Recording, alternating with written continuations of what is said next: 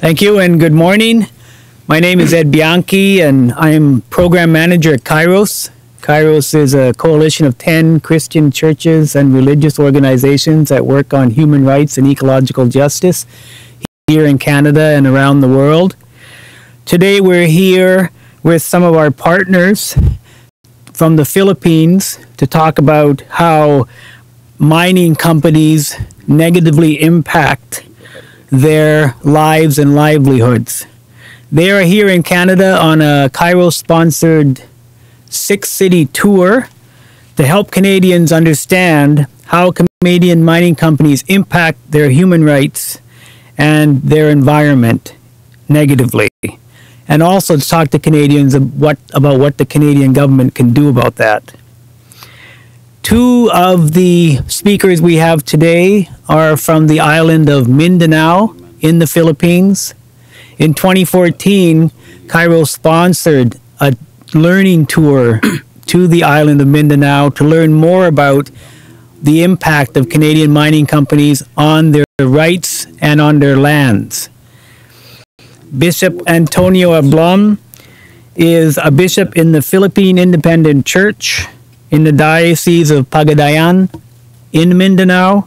He is an outspoken critic of the operations of Canadian mining companies and especially about the increased number of killings in areas where mining companies operate and where threats and acts of intimidation by the Philippine military and paramilitary groups are unfortunately all too often.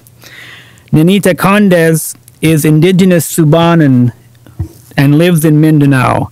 She is Deputy Secretary General of the SGS, a federation of indigenous Subanen groups.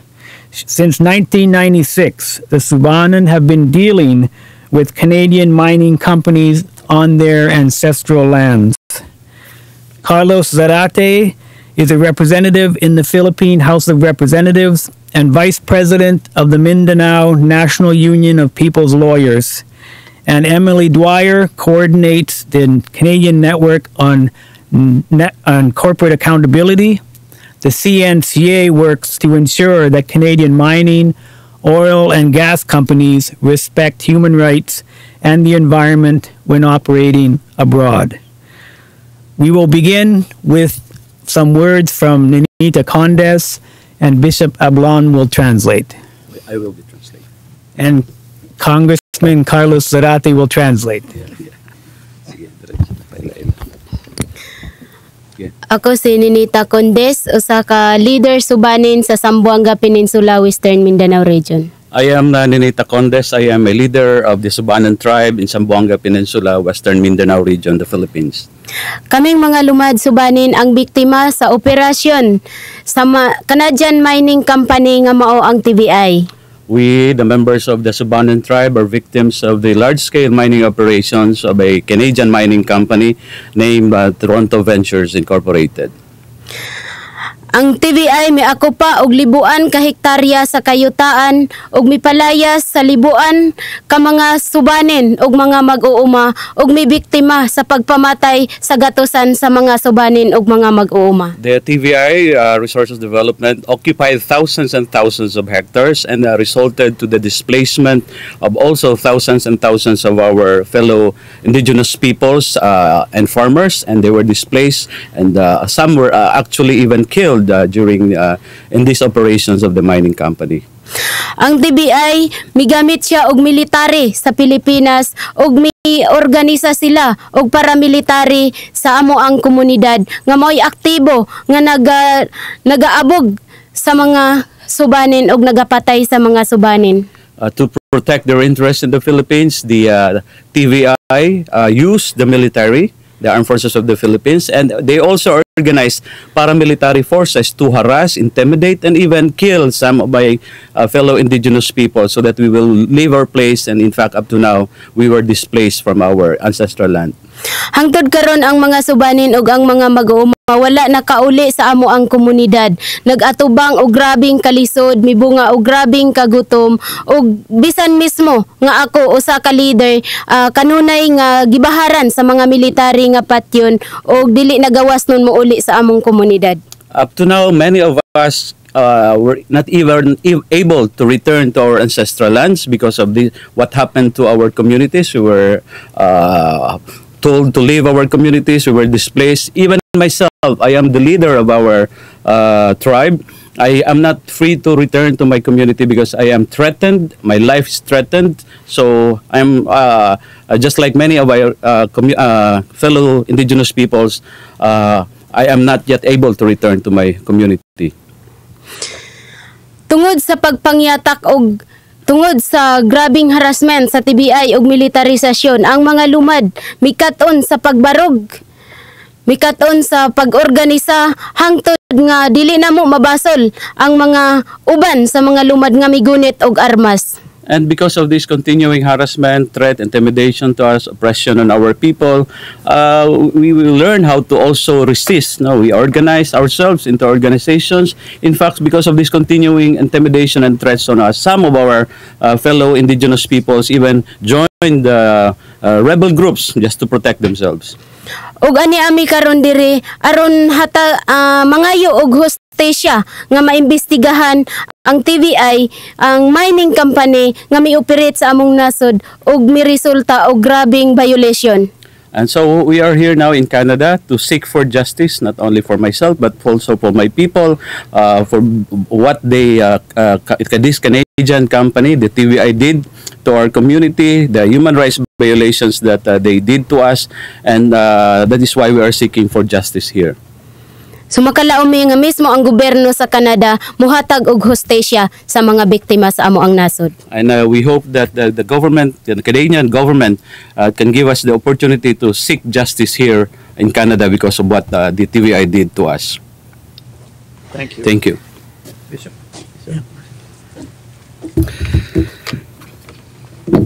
I am Bishop Antonio Ablon of the Philippine Independent Church, and uh, I am here together with the indigenous peoples uh, leaders in the Philippines because we want the Canadian people to know our story, and we want that foreign corporations operating in the Philippines, especially those who are Canadian mining companies, to be held accountable in their complicities in the commission of human rights violations against our um, people.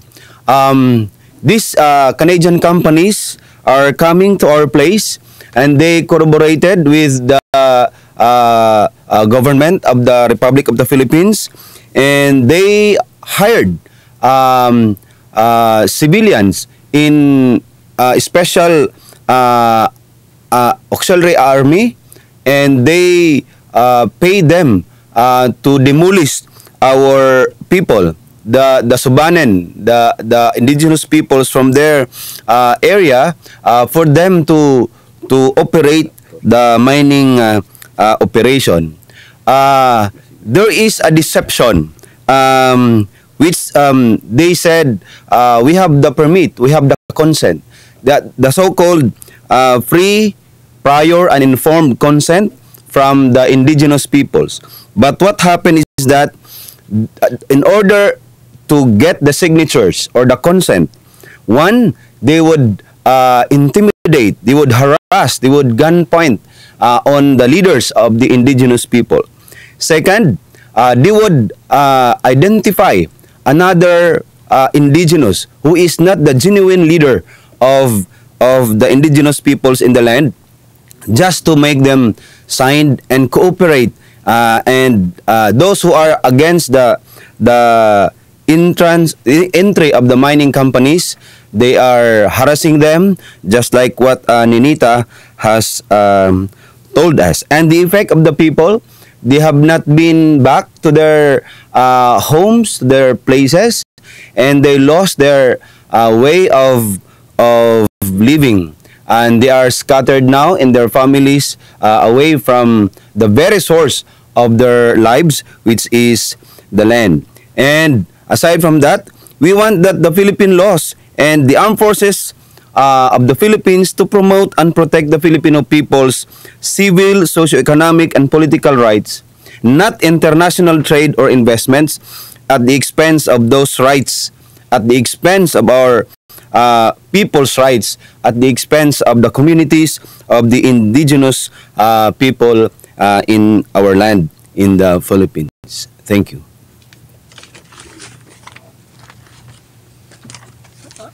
In uh, 2014, I mentioned that Kairos sponsored a tour to the Philippines, and uh, we gathered information there from community groups, from community members, from government representatives, from people who work for the company that the uh, speakers have mentioned. And gathering that information, following that investigation, we called on the Philippine government to stop all mining in the area until they could ensure the safety of the people and also to investigate those human rights allegations, um, violations. We also, in Canada, worked with others to call on the Canadian government to um, legislate in um, human rights extractive center sector ombudsperson with the power to investigate and to address these claims. And also, we called on the government to legislate and facilitate access to Canadian courts for those people overseas who are claiming that their rights have been violated by Canadian companies. Um, I'm wondering if there, we have any questions for any of the uh, speakers. Ed, I'm wondering if, uh, if you could tell me uh, who are you planning on meeting, who- uh, this delegation will be meeting in Ottawa with ministers at all? Yes, that, that's correct. The, uh, as I mentioned at the beginning, it's a six-city tour. So in addition to Ottawa, we're also uh, traveling to, the delegates are traveling to Toronto, Montreal, Winnipeg, Edmonton, and Calgary. Uh, here in Ottawa, we have been meeting with uh, members of parliament uh, from all the parties and also with uh, members of the standing committees. And uh, we are hoping that uh, in Calgary, we are still exploring the possibility of meeting with representatives from the TVI Pacific. I wonder if the bishop could, could respond to this, what do you expect of of the uh, religious communities? You- You're here uh, as an Anglican, uh, large Anglican Yep. population in Canada. What would you anticipate, uh, uh, what would you say to them about this? um, Anglican Communion or the Anglican world have been with us uh, uh, in the ministry and we've been uh, doing uh, things for the people. So right now in, in our trip in Canada, uh, we expect that our counterparts, our brothers and sisters Anglicans here, will particularly support our call uh, for the justice for the indigenous people and uh, to help us echo uh, the stories of uh, the uh, the the uh, plight of our Lumads in in Mindanao and in of all the the country in the Philippines. Yourself uh, received any uh, threats because of your position on this? Yes, there have been many threats, and in fact, um, during the 2014 Philippine Learning Tour, uh, after we announced uh, to the media that they are coming, the Canadian people are coming, um, two days after, my bedroom uh, in the convent was ransacked. It was, uh, I was lucky I was not there on that uh, night, and many other uh, kinds of threats to, to my life. Okay. Um, I'm wondering if, uh, Senor, um, what kind, when you talk about threats, you've had threats on your life. Kadlok gi gihuraw daw kasi ang kinabuhi unsa man nga mga pagpanguraw sa klase Kani nga pagpanghadlok nga giingon sa mga military nga usa ako ka ilahang patyunon tungod sa ako ang pagbarog og pag ah, pag-organisa sa mga lumad nga mubarog. I have been threatened by the military and paramilitary groups that I will be killed because of uh, my participation in organizing my people and leading uh, leading my people in resisting uh, the incursion of uh, mining companies in my in our ancestral land. How are you reacting to this? You, you have special protections? So unsay gihimo nimo giprotektahan ba daw ka sa gobyerno o nagtago-tago?